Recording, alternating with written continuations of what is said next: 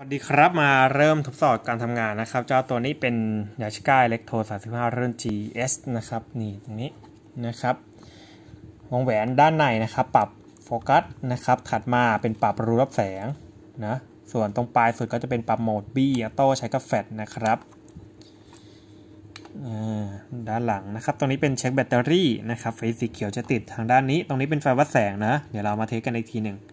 นี้เป็นปรับ ISO ผมก็จะตั้งไอขีดสีแดงในให้ตรงกับฟิล์มที่เราจะใส่สมมุติว่าผมจะใส่ 400 แล้วกันนะ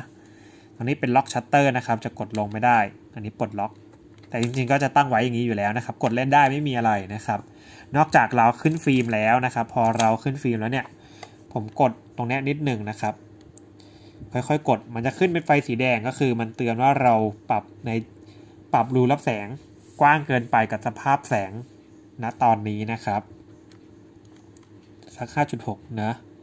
นี่นะครับเทปมาหลายตัวแล้วจำได้นะครับ ถ้าเรากดลงไปแล้วเนี่ยไฟล์มันไม่ขึ้นก็แสดงว่าพอดีก็กดถ่ายได้เลยนะครับ นี่ F16 นะครับ นี่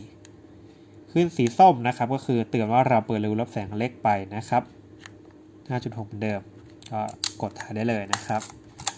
ทีนี้ปรับเป็นโหมด B นะครับ โหมด B ใช้ทำอะไรนะ กดค้างได้เลย นิ้วยังไม่ปล่อยนะ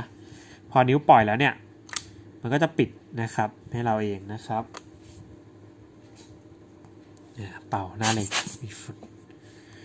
นะครับทีนี้เนี่ยผมกลับมาเป็นที่ออโต้นะครับ ขึ้นฟิล์ม เลื่อนตัวตั้งเวลาถ่ายนะครับ แล้วลองกดชึบพอถึงจุดของเขาเนี่ยม่านก็จะเปิดปิด นี่นะครับ ก็ทำงานดี เปิดฝาหลังขึ้นตรงนี้ดึงแล้วก็ดึงอีกทีหนึ่งนะครับ ใส่ฟิล์มตรงนี้เอาปลายฟิล์มนะครับ เสียบเข้าร่องตรงนี้ ขึ้นฟิล์ม นะครับ กดถ่ายทิ้งนะครับขึ้นฟิล์ม กดถ่ายทิ้งนะครับ ให้ปลายฟิล์มมันพันเข้าแกนตรงนี้ เราก็ปิดฝาแล้วก็เริ่มใช้งานได้เลยนะครับ ขอบคุณมากๆครับ